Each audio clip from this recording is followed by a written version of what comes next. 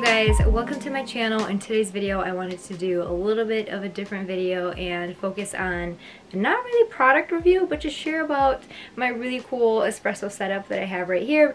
I also got some new accessories that came in the mail so I wanted to try them out today as well so I figured let me pick up the camera and just do a video about it. I don't really do product review videos too often. I'm mainly more of like a I'll do like lash videos and things like that so it's a little mixture of a lot of random stuff, but I love coffee. I've always loved coffee. If you know me, you know I love coffee. I'm not a coffee connoisseur or anything like that. I am a newbie when it comes to the dialing in espresso and the tasting and just all of that. So to kind of backtrack, before this I had the Cafe Affetto with frother and that machine has been giving me quite a few issues. I probably, that's probably the one machine I would never recommend to anyone. It's white, it's gorgeous, it's sleek, it does the job. I had a lot of mold issues with that machine. You literally got to clean it every day. The first machine that I had, it gave me descale issues and then it sent me a new machine. That one started leaking from the bottom. So for our anniversary this year, I told my husband I wanted a new espresso machine. I did want to mention that I also had the Casa Brews, which is very similar to the Breville models, like the Breville Express. And then we were staying with my brother-in-law last year. We stayed with them for two months when we were passing through Missouri. And I was using his Breville and really loved that machine. It's very similar to the Casa Brews in a few ways, mainly aesthetics. So I am familiar with, you know, pulling a shot and things like that, but I'm still a complete newbie. So for our anniversary this year, I told my husband I wanted a new espresso machine, and I happened to fall upon the Reddit thread of espresso and fell down the rabbit hole. And after tons and tons and tons and tons of reading, I decided on this combo here. I have the Gaggia Classic Evo Pro, which is, I believe, their 2023 slightly upgraded version. And I settled on the Eureka Grinder Specialita. And the reason why I settled on these two here is because I had a few requirements that I kind of wanted to check off. And I feel like when you're shopping for espresso machines or anything like a house, whatever, you have a few requirements that you're kind of focusing on. For me, a big one was they had to be white I don't know what it is, but I love white. I was okay if it was like stainless steel, but it had like wood accents or something like that, but it wasn't my preferred choice. So I was focusing on machines that came in white, and then I also wanted them to be compact, sleek-ish, because we are staying in the RV and we don't really have room for like a huge setup by any means. So we're gonna be living here while we build our house, which could take a year or two, who knows. And my thought process behind this, because from my understanding of reading through the Reddit threads is a lot of people will recommend the Gaggia Classic, whether it's the Evo Pro, whatever, for beginners like myself or the Bambino Plus. There are a few other machines that people recommend, but when it comes to the price point that I was looking at, I didn't want to spend over a thousand dollars on both the espresso machine plus a grinder, so I figured I'll buy, I got this on sale, I believe it was $500 from Whole Latte Love. Both of these are from Whole Latte Love. And I figured I'll put the savings of not buying a more expensive espresso machine towards a better grinder. That way in the future, if I wanted to, I could upgrade the espresso machine and keep this grinder hopefully for forever and ever and ever because I hear they last for forever and ever and ever with proper maintenance and care and all of that. So that is why I chose these two right here. I've had it for a few weeks now and I personally have been loving it. I've already added a few things like I have a smart plug there. I have it set to turn on every single morning and I could control it from my phone if I want to turn it on or off which I think is really cool because this machine does take a little bit of time to heat up. So while I'm it will automatically turn on on its own. I got a few other things which I'll show I'm actually to move the camera in a little bit closer and then also unbox some other things that came in the mail. So honestly, let's just get right into it. So here is the Gaggia Classic Pro here. I already turned it on through the app. I keep it on all the time and then I'll just control it in the app. I'll power it on or off. And I watched a few videos on how to use it, so I'm pretty comfortable with using it.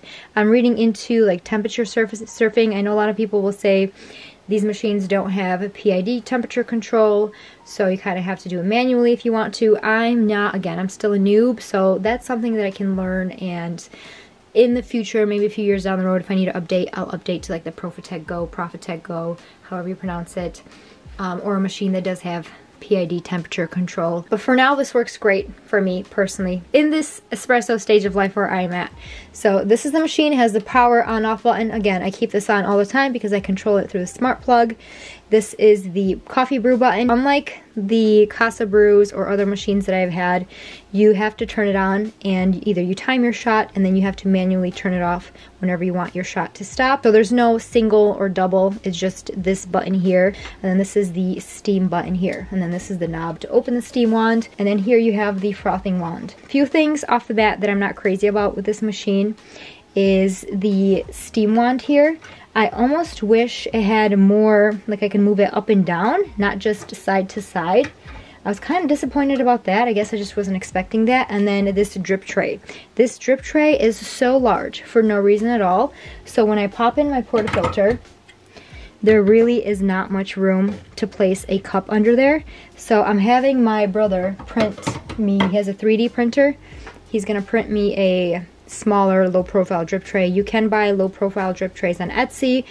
As I was going through Etsy, there's so much that you can buy for this machine. And another thing that I recently got off Etsy is a new steam tip. So this steam tip has two holes in it, which is great because it's super powerful compared to a single hole steam tip. But for someone like me that's used to using a much weaker steam wand, like the Cafe Affetto or the Casa Brews, this one is just too powerful for me. And I felt like I was always so confident steaming milk before and I had no issues. And then this one came along and I have all the issues in the world.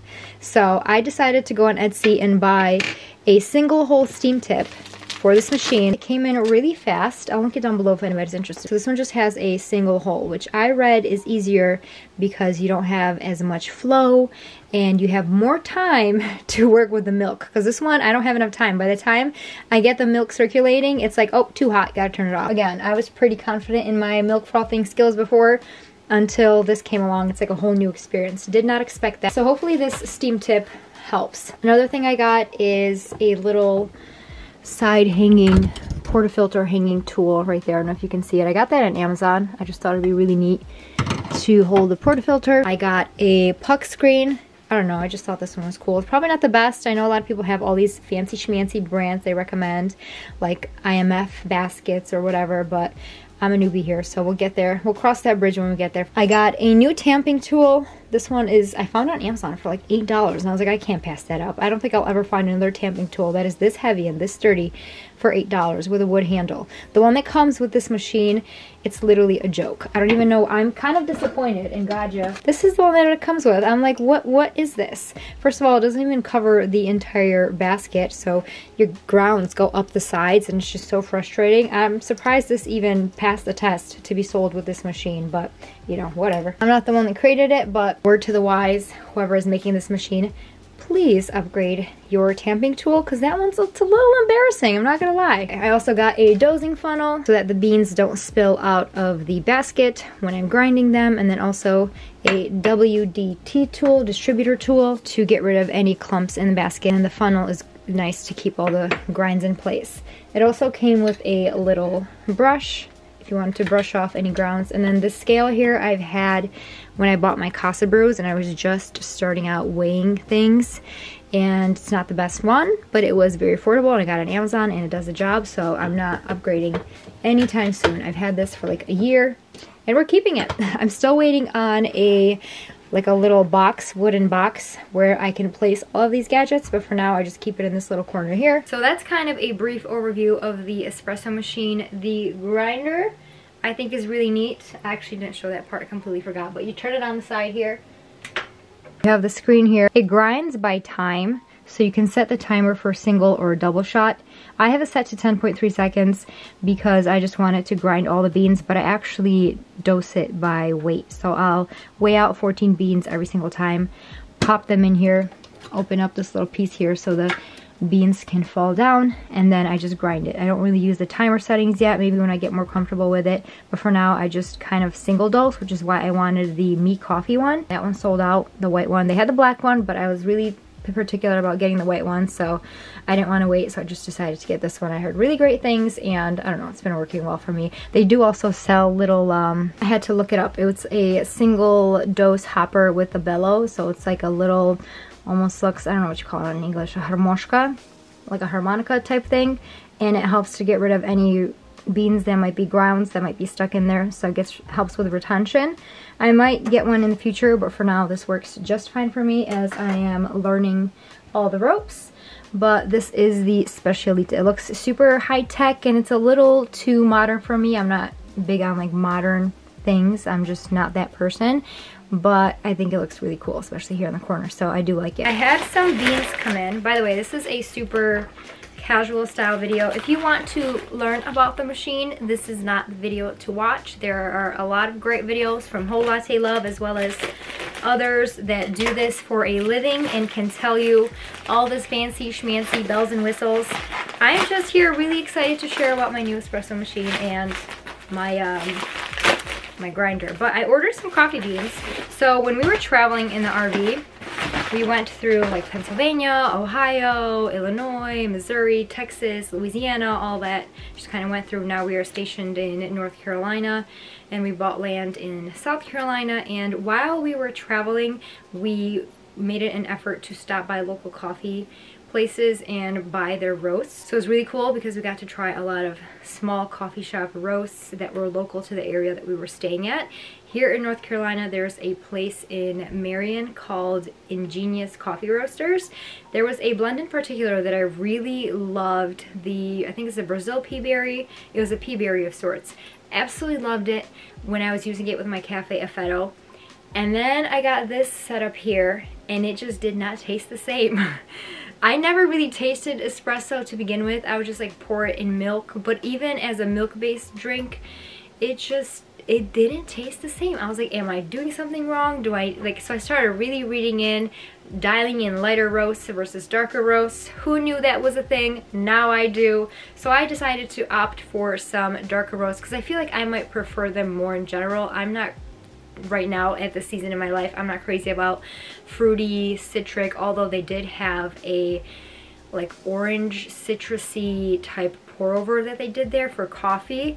It was phenomenal. Like you could really taste the bright citrusy flavors. So good. But for espresso, not quite there yet. So I decided to order the Tesla blend which has notes of robust spicy walnut and it's supposed to be I think it's like a medium roast if I'm not mistaken. And then I also picked up the Einstein's dark. So we're gonna try this dark roast. I always had the notion not to use dark beans in your espresso machine grinder because it can clog it up but then everybody's recommending to use dark roast for espresso. So usually the cappuccinos that you drink in Italy are dark roasts so I was like really confused there. If anybody can specify in the comments do let me know. Is it just the machines that have the grinder built in that they don't recommend it for? That was always boggling my mind. Maybe I'm missing something and I haven't read about it yet but do let me know if you know in the comments. I would love to know. I would love to know. I think I'm gonna try out Einstein's dark today. If you see like oh my gosh what is she doing Please don't laugh. Have some mercy. We were all newbies at one point, weren't we? So this is where I'm at. And then I also got from Amazon, I'm trying to support more like small shops, but the whole latte love version of this was like $90 and the Amazon version of this was $50. So for me, it's kind of like a no-brainer. I decided to get a bottomless portafilter, which I'm kind of scared to use because I have a feeling it's not going to be like one beautiful flow flowing from the middle. And it's just going to emphasize everything that I've maybe been, maybe been doing wrong. But I decided to get a wood handle bottomless portafilter. And this time they sent me the correct one. I, this is my second time ordering it. I had to return the first one because the ears were not right for the first one. The first one they sent me the ears were on the sides here, which must have been for a Breville model. I'm not sure because they do sell a few different models. And then they have one that has three ears. You need the one where the ears are kind of slanted on an axis here, like so. So sadly I had to return this one, but the woodwork and just the entire everything about it. it is really nice, really high quality. So much better than the stock one that it comes with in my opinion. This basket seems a lot larger as well. This one only holds 14 grams, so I'm assuming this one probably holds more, but I guess we will see. On the website, I believe it said 14 grams. I'm sure the basket's probably not the best quality compared to those IMS baskets that everyone and their mom's recommending. I know there's a reason behind it, but I don't know. I just thought it was really cool. So for now, we're keeping the basket that it came with. Don't judge me. But here are the two side by side. So Amazon, 50 bucks, really nice quality. We're gonna give it a try. Another thing that I totally forgot, I got a Normcore Yes, just making sure I'm pronouncing that correctly. Normcore handleless frothing pitcher comes in black and white, eagle spout or rounded spout. I got the rounded spout because, you know, newbie. And I really love this. Love that it's white and it's so much easier in my opinion to control the latte art, which we are still working on big time. First thing that I'm gonna do is brew about six ounces of water so probably four out of the group head. No portafilter on. Fill that out. And then they do recommend popping in the portafilter to warm it up, but I'm just going to get right into it. Let me wash this one with some soap and water. According to the Amazon description page, it says, first of all, this is a 58 millimeter basket, which is another reason that I wanted the Gaggia Classic because it has your barista quality 58 millimeter basket versus the 54 like a lot of the Breville models. But it says that this is an 18 gram basket. So I'm used to using 14 grams, but we are to do 18 grams today, I guess. So let me grab my little scale here. Actually, you know what? Let me just pop this in for a second, make sure it fits. Ooh, fits like a charm and so smooth too. Look how much more beautiful it looks if they did wood accents. I also want to eventually change out the knob here, eventually, because they do sell wooden knobs on Etsy. Again, I feel like Etsy has everything. And I feel like just changing out those two things makes it look so much more rich in my, and like more expensive in my opinion. I just love the look of wood accents, just like a personal preference. So I have these little glasses here. I got a set of two. They're kind of like teacups and I use them. I've went from like full-blown lattes to cappuccinos to cortados to kind of this which is kind of like a cortado size. And I feel like I'm enjoying less milk in my drink these days so these are just the perfect size for me. So I'm gonna go ahead and tar that on the screen. By the way this coffee place Ingenious Coffee they do roast their coffee beans in-house. It was really cool to see. We were talking to the owner's father really awesome guy. This is what the beans look like. Again, they look oilier than what I'm, these actually are not too oily. They're not like Starbucks oily, you know what I'm talking about? Starbucks, I do not, I can't with Starbucks beans, but I'm gonna weigh out 18 grams of beans, maybe like 18.2, just in case a bean or two gets stuck in there. 18.2. And from what I read, usually they recommend grinding finer for darker beans and coarser for lighter beans. Correct me if I'm wrong. I am willing to listen to all the recommendations down below and I always keep reading every single time just to make sure and what people recommend but at the end of the day boils down to personal preference. So I have it set to, well I found my zero point and then I've just kind of just been tweaking it back and forth depending on the beans. So we'll see. This is the first shot. Put my beans in there. Take this out so that the beans can fall in there. It does popcorn a little bit, but it's nothing crazy that I'm worried about. All right, get my portafilter out, pop on the dosing funnel, and let's try this grind size. i use my WDT tool to make sure there's no clumps. All right, this is what we have so far. Pop that in there. Kind of nervous, not gonna lie. Okay,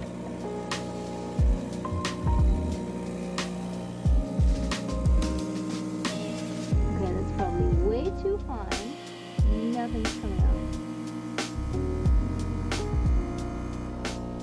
I ended up turning it off because it was just taking way too long and it's just a clear indication that the grind size is way too fine. So I'm gonna go ahead and make it a bit more coarse and hopefully get a little bit closer to dialing these beans in.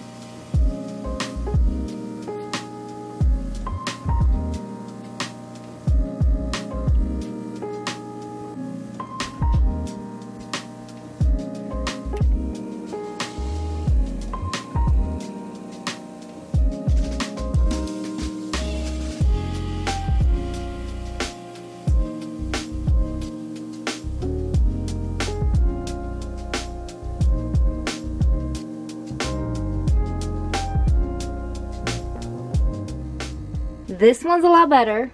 I feel like we're getting a lot closer. So at 27 seconds, I have a, a, little under 38 grams. I might lower it down just a smidge, but I'm just gonna add milk to this shot because I feel like we finally have a decent shot. And yes, I need to work on my puck prep, as you guys saw. A little embarrassing. I feel like this was a whole workout, just trying to configure this, but let me try this shot out. Oh, it's not as bitter. Let me release some of that water from the steam wand.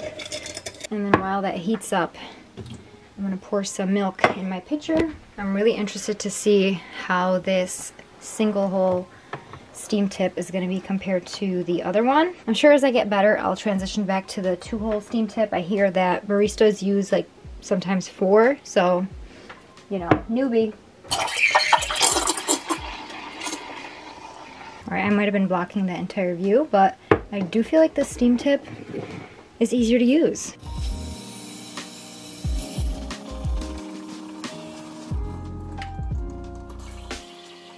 All right, now for the fun part. The latte art, which we are heavily, heavily working on. And then I don't add any sugar or anything. I don't really, unless I'm like getting a holiday drink or something, I usually just love milk and espresso, coffee. Milk is a bit thick, but we got a little leaf. And the color is gorgeous. Progress, not perfection. I got another espresso blend from another cafe.